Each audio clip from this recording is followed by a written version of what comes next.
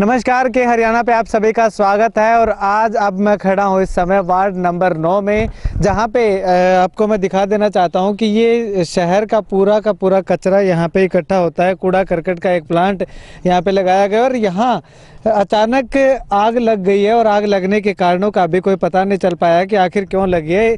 लेकिन किसी भी तरह की अनहोनी घटना ना हो जाए, उससे बचने के लिए यहाँ के स्थानीय निवासियों ने फायर ब्रिगेड को कॉल किया और फायर ब्रिगेड की गाड़ी भी यहाँ पे पहुँच चुकी है और इसको आग को बुझाने की जो कोशिश वो लगातार की जा रही है।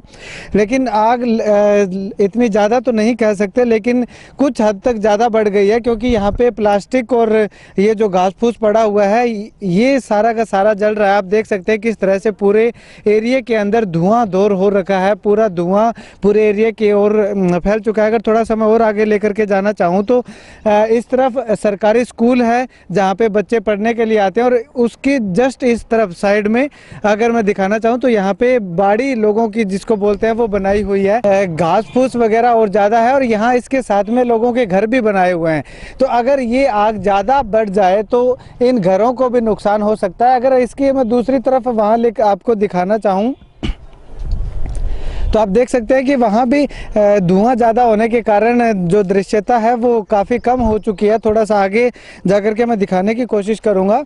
तो यहाँ पे इस जो कचरा मैनेजमेंट प्लांट है, इसके दूसरी साइड भी कॉलोनी है, लोगों के घर बने हुए हैं। अगर ये आग ज़्यादा बढ़ जाती है तो उनके घरों तक भी नुकसान होने का अंदेशा ज़ाहिर सी बात है, लोगों के घरों को नुकसान भी हो सकता है।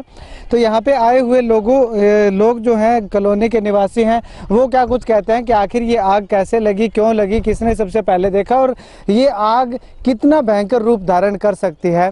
तो इस तरह की बातचीत करने के लिए हमारे साथ यहाँ पे कॉलोनी के लोग मौजूद हैं। चलिए उनसे जानते हैं कि आखिर ये आग लगी तो लगी कैसे और कितना नुकसान हो सकता है इस आग की वजह से? हाँ अंकल जी ये बताइए कि आग कैसे लगी और कितना नुकसान इससे? हम तो जब खाना खाने आए हैं घर पर तो देखा धुआँ निकल रहा है। जी। ये कब से सिल गई है ये? पता नहीं यहाँ पर फूस ही फूस है। कहीं कोई बीड़ी पीने वाला या कोई यहाँ लंबे भी यहाँ शॉर्ट सर्किट से कैसे लगी आग? जब आग फैली और हमारे घर की तरफ़ आने लगी तो हमने चेता किया, हमने फायर ब्रिगेड को फ़ोन किया। यहाँ आग लगी हुई है, इसको जल्दी बुझाओ और ना बहुत बड़ा नुकसान हो जाएगा।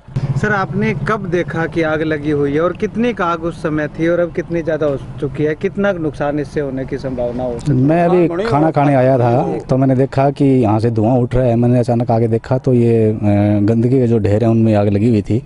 मैंने तुरंत फायर ब्रिगेड को फ़ोन किया। मेरे मेरे को लगा भी हवा तेज़ चल रही है, इससे ये आग फैल सकती है और नुकसान हो सकता है। हालाँकि कोई अभी तक नुकसान की घटना नहीं है और फायर ब्रिगेड भी आ गई है। जल्दी कंट्रोल में ले ली जाएगी सर तो देखा आपने यहाँ पे लोगों का साफ़ तौर पे कहना है कि हल्की सी आग लगने के बाद फायर ब्रिगेड को बुलाया गया था और समय रहते फायर ब्रिगेड यहाँ पे पहुँच भी चुकी है। लेकिन आपको मैं एक चीज़ और दिखा देना चाहता हूँ कि यहाँ पे बिजली की तारें भी हैं।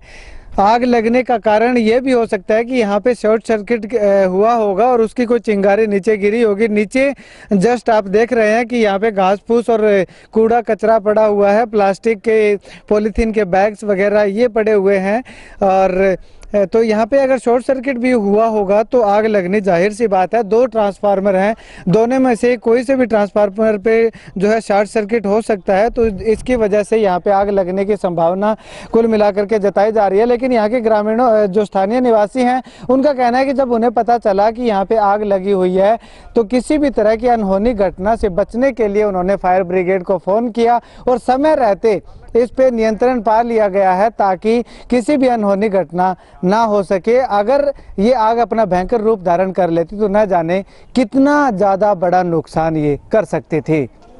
कैमरा सहयोगी मुकेश बेनीवाल के साथ रमेश जाखड़ के हरियाणा।